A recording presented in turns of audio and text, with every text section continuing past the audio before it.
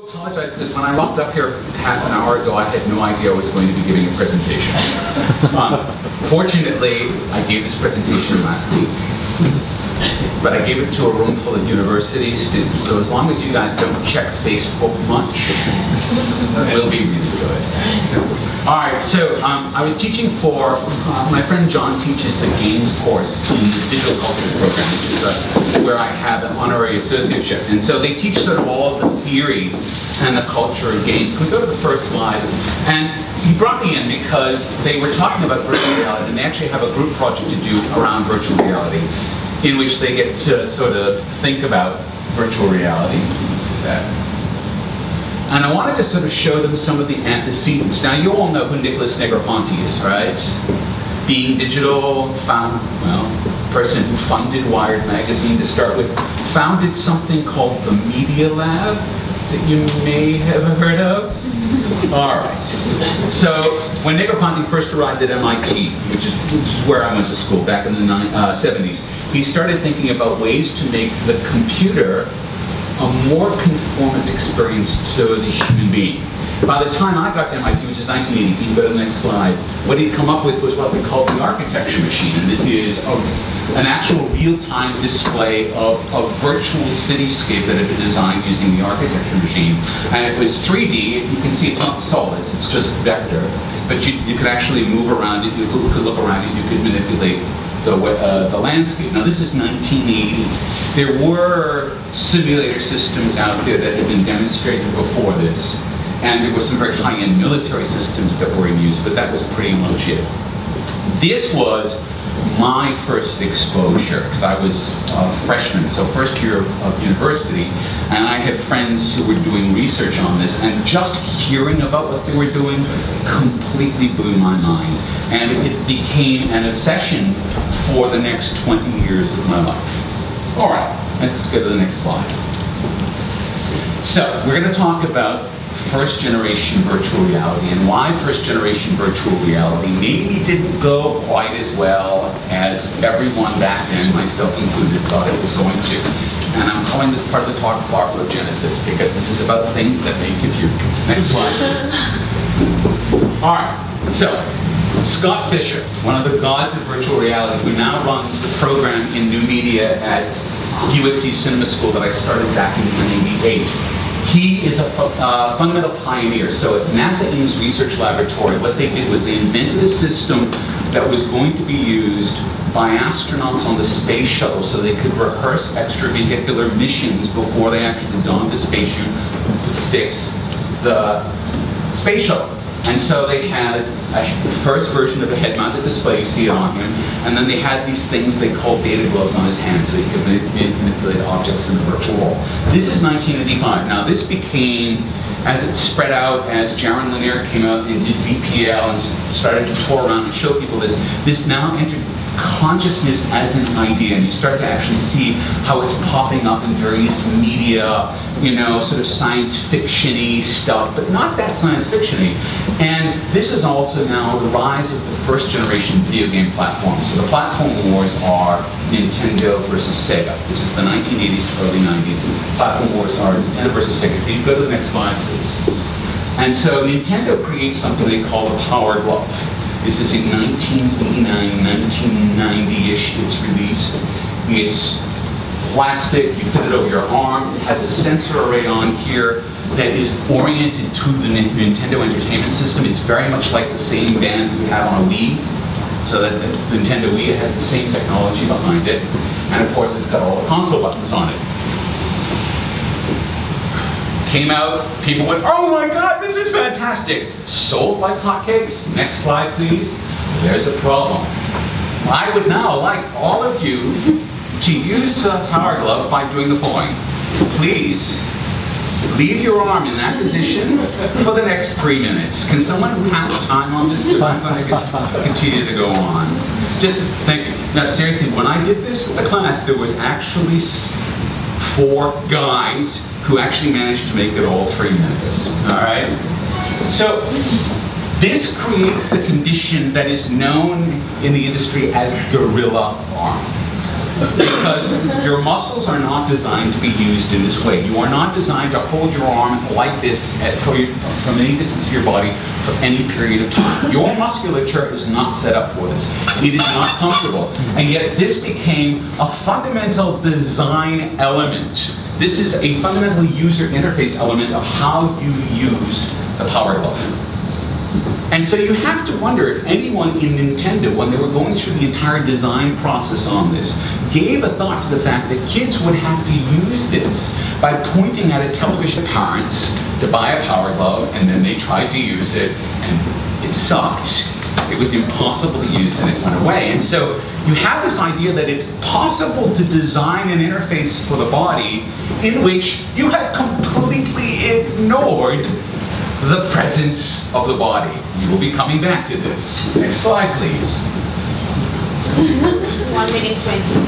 Harry, One minute. No. And One minute. I found this wonderful quote from Rimbaud, you know, about the long, intimidating, intense, and rational derangement of the senses. The sufferings are enormous. One must be strong and born a poet. And this is kind of the mindset that is, has got to be guiding someone who is walking this line between engineering and biology, right? Because they're, they're basically building devices that torture people. What, what else can you say? And, and yet doing it out of love, not because we want to torture people. This is not an S&M device. This is a toy. Next slide, please. Two Oh. minutes. So, What did he take? now, 50 seconds. I was one of the principal designers in the first consumer head-mounted display called the Sega Virtua Viola. This device was an accessory that was meant to be uh, plugged into what in Australia was called the Sega Master System, in America was called the Sega Genesis. Plugged right into the back, and you'd have a virtual world and you'd be able to play it. And we worked terrifically hard. Uh, part of the reason I was involved is because I had invented uh, an orientation sensor that was two orders of magnitude cheaper than any other way of doing it. Have we reached three minutes yet? Uh, two forty-nine. Wow, you guys are seriously very proud. And so I was brought in by Sega to participate on the design. And it was a lot of fun because they, very good. You've done very well. Now imagine doing that even longer because you're playing some game and you're fighting a boss level on it. it's just, it's ridiculous. Anyway, so Sega wants to fight back against the Power Glove and it comes up with the Virtua VR. And it was shown privately at the 1994 CES. Now, this is before E3 merged off of CES and they became separate events. So at this point, about 40% of CES, one of the largest trade shows in the world, is all of video gaming. Sega and Nintendo have the largest pavilion and nestled deep inside the Sega Pavilion is a private viewing lounge where we have a prototype version of this which we're showing to folks from Target and Kmart and Sears and they're all losing their minds and putting these huge orders in because this is clearly going to be the big toy for the summer, uh, for the Christmas of 1994. And it even goes on to get announced as Popular Science's Device of the Year, Innovation of the Year. Now, what's interesting is that I think someone showed this to the filmmaker Spike Lee, and Spike Lee managed to grab the prototype of this and pop it into a film that he was making called Clockers, and we'll see a scene from that film when we go to the next slide.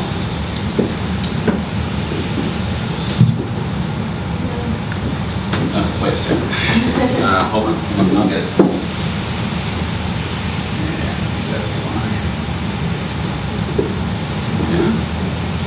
That not on?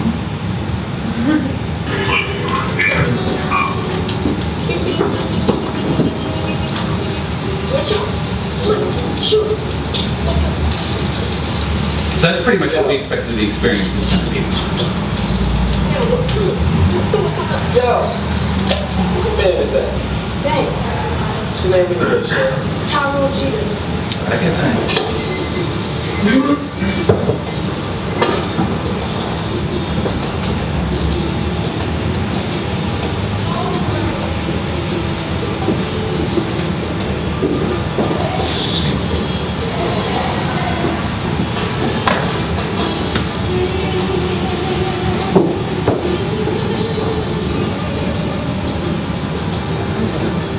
very impressionistic spike film area. That's pretty much what Sega thought would be going on with it. Maybe not the content, but you know.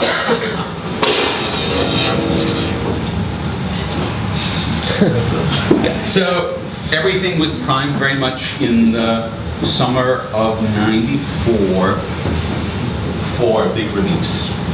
Now what I remember of what happened next is poorly documented anywhere, so let's just say that this is part of the mythology. But what I remember was that Sega got their first production units off the production line and sent them out for testing. Find out whether they were going to meet all the electrical standards, blah, blah, blah, blah, blah and uh, apparently sent them out for some degree of testing around users and how they were affecting users because virtual reality headset has the capacity to affect a person's uh, physiology. And Sega's lawyers came back and said, there is no universe in which you will get an insurance policy for this device to be used by children. Could you go to the next slide, please? And the project was essentially quietly killed. Now, Sega says they claimed the virtual reality effect was too realistic. Now you can imagine with 320 by 240 displays that maybe realism was not exactly the top. Uh, people might use, move while wearing a headset, they might injure themselves, limiting process power, whatever. The artificial it may be affecting them in certain ways. Um, Next slide, please. So that was the end of that. Sega had poured tens of millions of dollars in three years of research into their project. And they pulled it back, and it went away. And that was pretty much it for consumer VR until Oculus came out in 2012. And it's really all because of this very simple statement. You can't ignore the body in VR because the body is the point of virtual reality. It is the object. It is the thing that everything is in relation to. It is a game that you are playing with the body, with the senses directly. And yet, as you can see from these two examples, this is the first thing that gets left on the cutting room floor. And so there, there's a very important lesson there because this mistake is now being repeated. Next slide, please. All right. Y'all know that Sunday was the 50th anniversary of Moore's Law. Did you all see that anywhere? Do you all know what Moore's Law is? Oh my God. Okay, I'm going to be schooling you now. Next slide, please. Okay.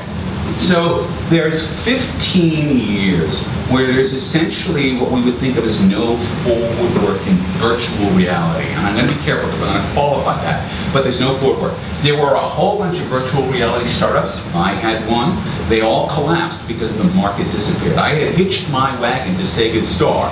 If the virtual VR was a big thing, I would be a very rich man now. Didn't happen. And that was happened, all the first generation virtual reality companies went away. But the ideas and the techniques started to become profoundly influential. Next slide, please. Because the first year of that Microsoft Xbox, but you start from this point, from 1995, as soon as VR dies, it pops up and becomes known as video games. Next, originally, all right? There's Lara Croft in 1996. That's Lara Croft in 2012. she needs a shower. and you can tell that she needs a shower. One of my very best friends who had been working in virtual reality even longer than I had said in the 90s, he said, Mark, rendering happens. This was always going to happen. And so these are, again, on $300 pieces of equipment. So that's $300 getting you a render in 1996, and that's $300 getting you a render in 2012. Why? Because of Moore's Law. Next slide, please. All right. April the 19th, 1965, a paper was published by a guy named Gordon Moore. He co-founded a company you might have heard of called Intel. Still alive. And this is one of the charts from it. He said that every 24 months, the cost to make a transistor drops in half. Every 24 months. We had enough experience building transistors by 1965 that he could see this. And he said in 1970, 1975, so on and so on and so forth. So this became known as Moore's Law. All right? So 50 years ago this week, and we have not departed from that. So that means there's 25 two-year periods. In other words, the cost to fabricate a transistor is 1 over 2 to the 25th of the cost to fabricate a transistor when he wrote this paper in 1965, which I think, if I remember, was around 100 million. So a single transistor is 100 million times cheaper than it was in 1965. This is Moore's Law. This is why computers get bigger and faster and cheaper. That's why my iPhone 6 has more computing power. Yeah. So all of IBM's entire production line in 1965 had less power than my iPhone 6. And the same thing happened to computer graphics. So when you put more power behind computer graphics, the graphics get bigger, get faster, so on and so on and so on. Next slide, please. Now, read this stat last week. More transistors were manufactured last year than had been manufactured in every single year in all of human history prior to 2011. All right? That's the way things are going now. It's just a lot of transistors. Next slide, please. Oh, that's right. Uh, it would be nice to show this, but I'm not on Wi-Fi and I'm not going to show it. You should all take a look at it later if you haven't seen this. Okay, so what happens is you have the, the empty quarter, 95 to 20, 2010. By the end, computers are so much faster, browsers are so much faster, computer displays, computer graphics are so much faster, that it now starts to become possible to do some things inside of a browser that had not even been conceivable before. Now, uh, I, I, in some ways I've completely downplayed my own history. As soon as the Sega project bombed, I went off and created the first 3D interface to the World Wide Web, something called VRML, which became an international standard and part of MPEG-4. I'm sorry, I forgot to mention that. So this entire field of 3D on the web, I invented. Um, but in 1995, the kinds of things that you could do with it, because computers were relatively slow back then, versus 2011, the capacities were much, much greater. There was a new language developed called WebGL, which is essentially a set of JavaScript interfaces and JavaScript libraries that allow you to do very sophisticated 3D virtual worlds work inside of a web browser. And one of the very first pieces that demonstrated this is a wonderful music video called Three Dreams of Black. www.ro.me is, is the URL. And it was the first time that people really realized that the browser now is a, a good platform for virtual reality in the 21st century. We did a lot of interesting stuff in the 20th century, but things weren't quite there and they required plugins. And actually, it turns out getting people to download and install a plugin, unless it's Flash, is almost an insurmountable obstacle. Okay, so you have WebGL coming as the first modern technology that starts to leverage the incredible transformation. Next slide, please. And of course, the next year you start to get the Oculus Rift. So now you start to get a display system that can be plugged into a computer that has a really fast chip in it, that has really fast graphics in it, and you can do all sorts of crazy stuff. Now, the Oculus itself is really it's a head-mounted display, so it has the displays in it. It doesn't have any native intelligence inside of it. It has to be driven by a computer that it's slave to. Next slide, please. Now, to give you an idea of the differences here, I'm going to show you a little segment of Osmose in a couple of minutes. This is John Harrison, who was the engineer who worked with artist Char Davies to create probably, arguably, the first real piece of fully immersive virtual art called Osmose, And there's a lovely video on YouTube that I'll show you just a minute of, but I encourage you to look at. And here he is sitting in his development studio working with it. And he's got a three quarters of a million dollar Silicon Graphics computer that's being used for the rendering, plus all this other gear for his development. And that's less powerful than an iPhone 6, all told. All right, so that shows you the degree of the transition here. And so what you're talking about now is the kinds of things that were hard to do and expensive to do. And Char's biggest disappointment with Osmose was that it was installed at a museum and only one person at a time could go into it because it's a really nice piece. And now she can actually create something and deploy it, and she is secretly working. She gives me hints every once in a while, but she's secretly working on something that's going to be available to lots and lots of people because the technology has now become pervasive. Next slide, please. Now, have you all seen the cardboard? You haven't. I brought one along because there's, there's nothing like props. Okay, that is actually the cardboard version of the cardboard. It was released at Google's Developer Conference in June last year, and it caught on like a house fire because what it does is it leverages the native capacity of your smartphone as this incredible rendering engine to be able to do virtual reality. And I'm going to put, I have a cute little piece of virtual reality that I'll just spark up and I'll, I'll pass this around so you can all have some fun with it. Uh, there it is, it's a roller coaster, which you know is cheap, but it's, it's a cheap thrill, but there are worse things in the world than a cheap thrill.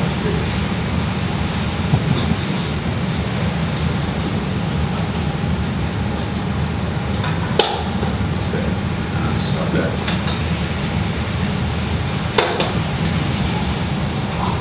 There we go. Just kind of keep through, pass it around. Anyway, the idea with the Google Cardboard was it's possible to take a smartphone, right? Write a program that divides the display into two stereo images, connect them with some cheap optics, in a literal cardboard head-mounted display, all right? If you go on Alibaba or eBay, you can buy these in quantity from China for $3. All right, I bought that single unit on eBay from an Australian vendor, and that's plastic because my cardboard one, and that cost $25. And I probably got slightly ripped off, but I didn't want to wait for something to come from Hong Kong. What this is telling us is that all of this fancy shit that Oculus wants you to believe is what virtual reality is, is bullshit. It's marketing. In fact, your smartphone, the thing that you're carrying around with you, and the thing that will only get better at this, is in fact a fine platform for virtual reality. Next slide, please. Someone's going to tell Zuckerberg before he's paying two billion. Yeah, well, that's that's that's the thing. All right, so now that we can do whatever we want, now that the technology of virtual reality has been democratized, and this has been a very big thing for me because the work that I did in VRML and virtual reality on the web was always designed to be used by anyone. I didn't want VR to be something that was only kept in the lab or only required very expensive pieces of equipment. So we designed VRML to be used on normal PCs by normal people, and that opened the door now we're actually in an era where everything is cheap enough that everyone can start walking through that door. So all of that stuff that I talked about at the beginning about the body and the problems the body is presenting, let's come back to that. Next slide, please. All right, so this is Osmose. Remember you saw John Harrison with his three quarters of a million dollars worth of equipment. Char Davies designed this work in 95. She had just learned how to scuba dive. And she said, okay, if I want people to have a really deep experience of the virtual world that actually feels comfortable with their body, I'm gonna build an apparatus that they can put around their body. And just as if I were a scuba diver, you will be able to navigate through that world by controlling the volume of air in your lungs, because that changes the buoyancy your body.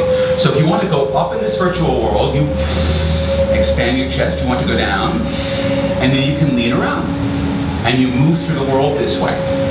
She didn't get a whole lot of simulator sickness. Why? Because the coupling relationship that makes it much easier for people to be in the virtual world. So it's still a stellar piece of work. 20 years on, it still has set a standard for how you can treat the body as a friendly object, how you can bring it in and make it part of your work. So that whole video, if you type osmosis into YouTube, it'll come up. 16 minutes, you should really watch it.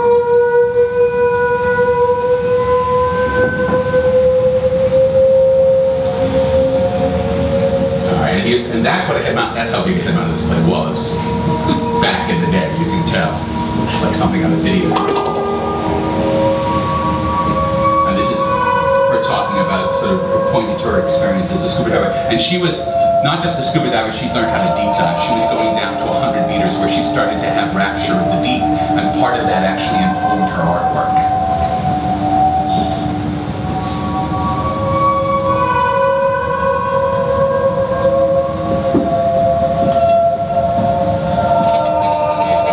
All right, next slide, please. Okay. So we had that back in the old days, and then all of a sudden, basically out of nowhere, Microsoft comes up with some technology. They bought from some Israelis, doesn't matter, it's a good buy. All right, that is essentially insane. The Kinect. Have you all played with the Kinect? Do you know how a Kinect works? It literally scans the room with infrared and then reads the reflection so that what you get is a depth map. The computer understands in three dimensions how far everything is from its camera. So it is actually seeing the room not as a flat image, which you would get with a normal camera, but you're getting it with depth. And that's the Kinect 1, which actually compared to the Kinect 2 is shite technology. Kinect 2 is actually literally measuring the time it takes a photon to bounce off of you. It is measuring, as they call it, time of travel, the speed of light. You can't do better than that. So Kinect 2 is now using, and you know, and that's bundled with the platform. But now what you have is this reversal. Rather than saying that we're gonna make the person strap themselves into the computer, you flip that idea and you turn it inside out. You say, we're gonna make the computer watch the person. And we're gonna give the computer the tools that it needs so that there's no separation in the space. The computer is essentially observing the space. All right, next slide, please.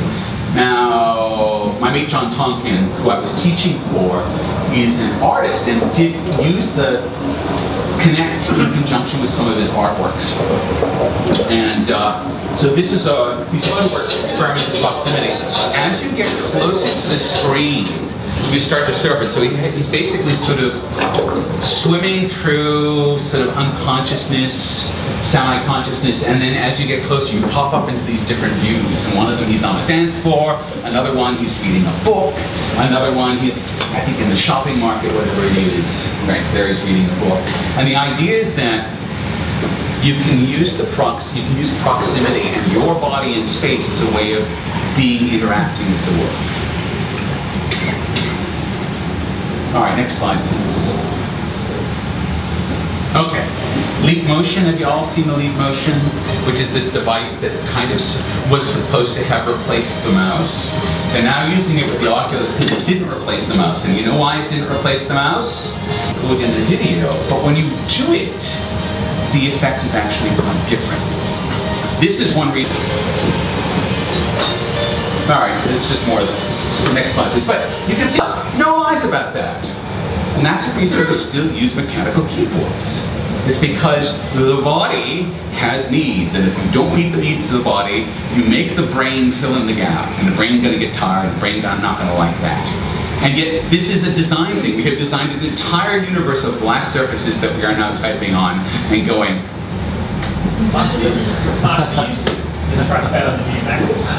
Mark, you used the trackpad on the new MacBook. I have in fact. That's purely, that's not mechanical. But it is, that's the thing. I mean, it Not is, it- Not in that traditional. Not in that sense. Traditional sense. That technology coupled with glass, Yeah. to get our brain thinking. Well, well and, and the thought is that that technology will be on the screen of the 6S or the 7, right? For precisely this reason. So, so, but at this point, we're just typing on completely non-responsive letters, right? So, yeah. All right. Um, so, so we're, we're in this really interesting space now where we know how to do things that work but are wrong, and we know how to do things that are right but aren't virtual enough to actually get the job that we want done done. This is kind of where we are. Next slide, please. All right. So where are we going? Next slide.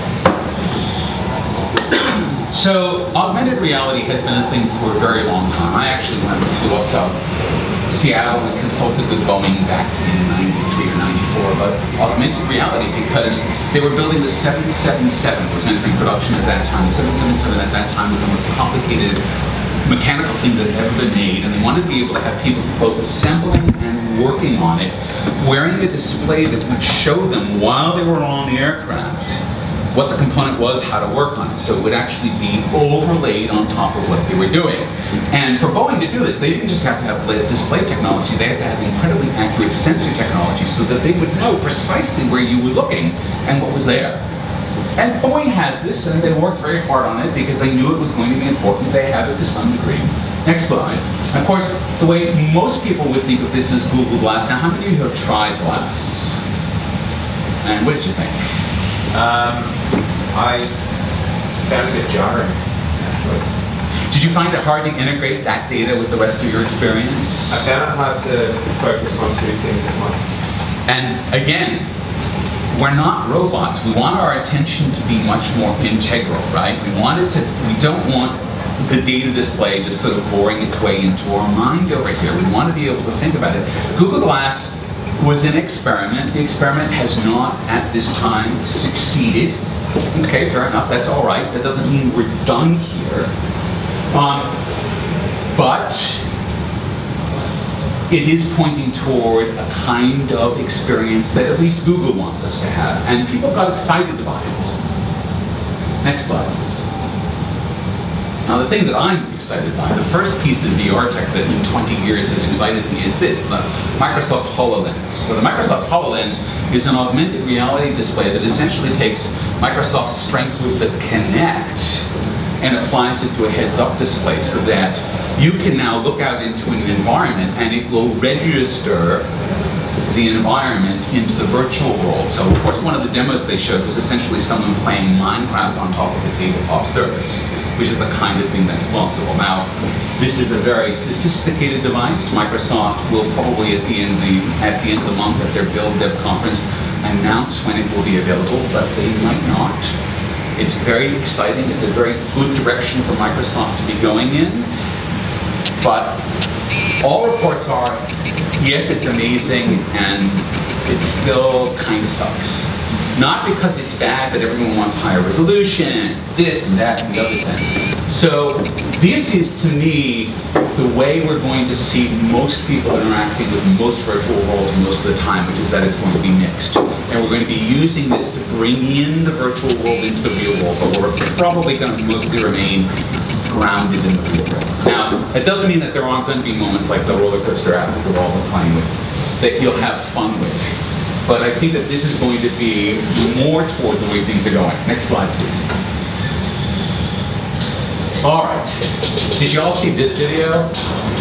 This is Magic Leap, which is also doing its own heads-up display and the view from inside. But take a look at the office of the future. Eh, whatever. All right, your Gmail. Oh, I think, you know, I'm at the office, I should probably play a game, because you always do that at the office, right? So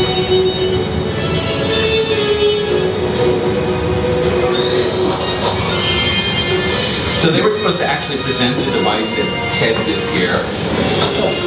They didn't. They sent this video instead. This video was produced by Weta, which means, guess what? It's smoke. Alright, this is what they want their device to be able to do. Google has poured a half a billion dollars into the company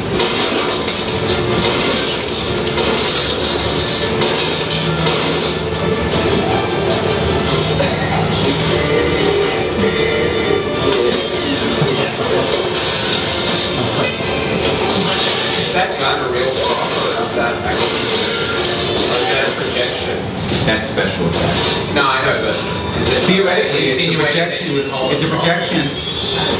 Theoretically, it's a retinal scanning projection, which was very exciting technology from 20 years ago that's made a way back. So it's literally drawing raster onto your retina, theoretically. Sounds dangerous. Yeah, that's what I've always thought.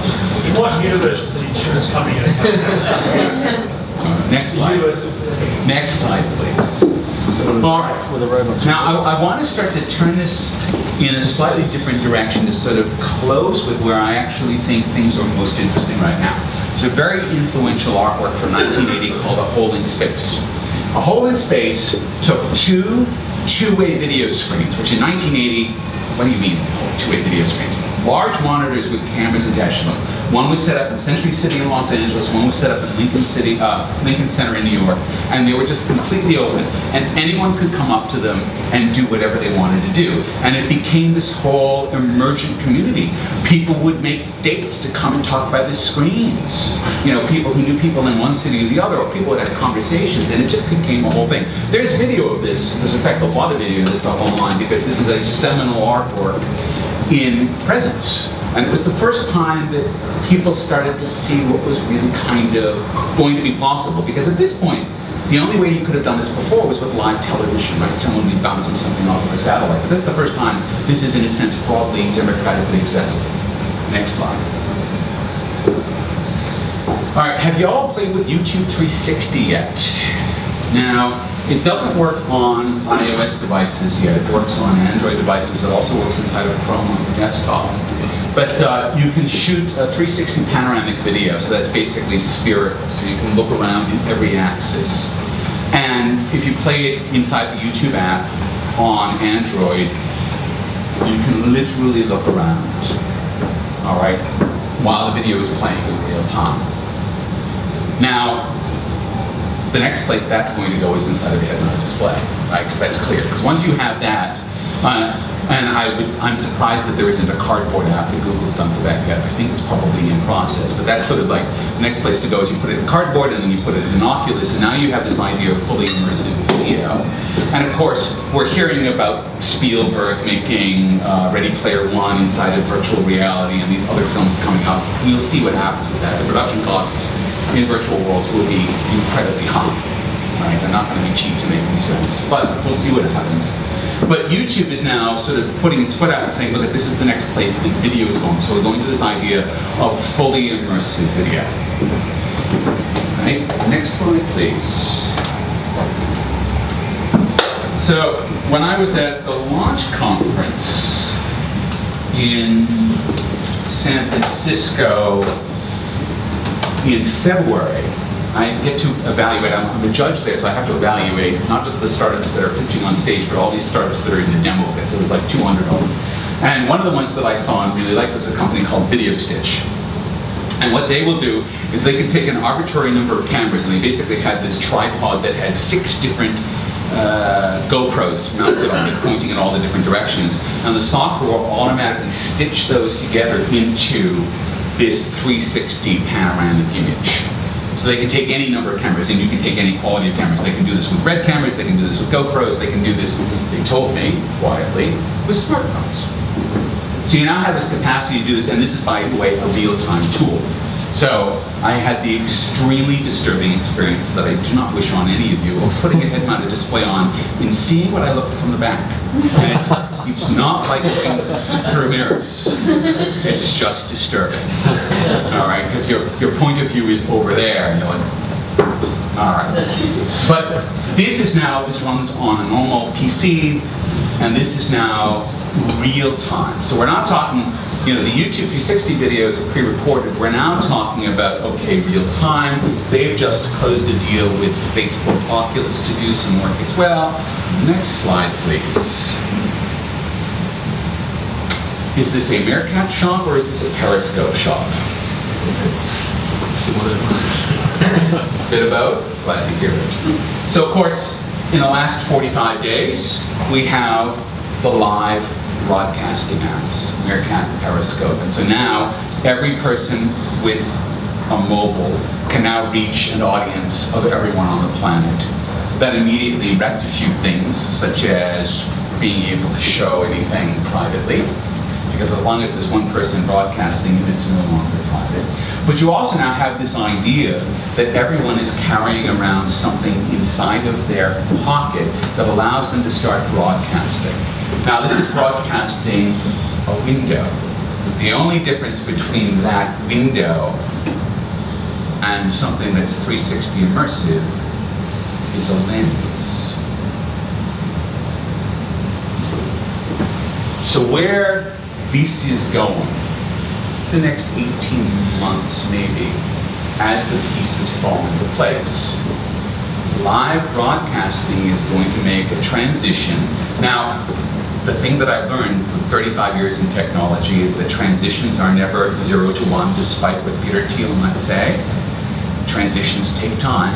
But in 18 months, the idea of being able to see a live cross to a football game or to a war zone or to a rally that is 360 immersive in a high, very high definition. That's not going to be foreign because all of the pieces are already in place. Next slide, please. So, to me, it's not pre-recorded, it's live. The future isn't virtual, it's real. It is immersive.